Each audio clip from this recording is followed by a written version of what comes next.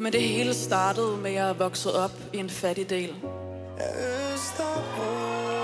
Jeg ved ikke, om min barndom var hård eller privilegeret. Den var hård, hvis ikke du kigger på papir. På mit gymnasium for eksempel var der 1200 elever, og kun fem ud af skabet. Uh, det er så snævert et udvalg. Ja, men så alligevel ikke, for på trods af min lidt kønsforvirrede page, kunne damerne ikke holde sig væk. Tak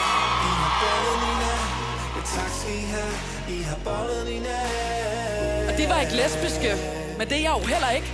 Så det var en helt perfekt. Så fik jeg angst, det det. og min onde ekskæreste tvang mig i terapi. Men det gjorde jo, du fik det godt igen. Ja, men hun forlod mig. God beslutning for jer begge to, I har det godt nu. Ja, shit, det var egentlig godt kaldt. Tak skal du have,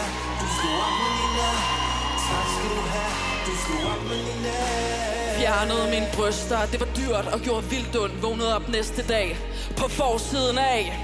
Euro woman, Euro woman. Kort hår, talentholdet, flat bryst, dagens vært, etableret, næsten nomineret.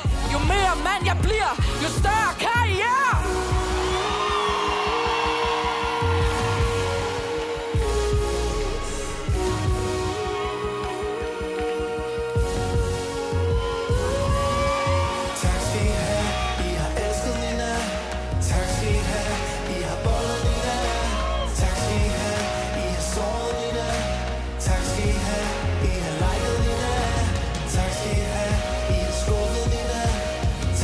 had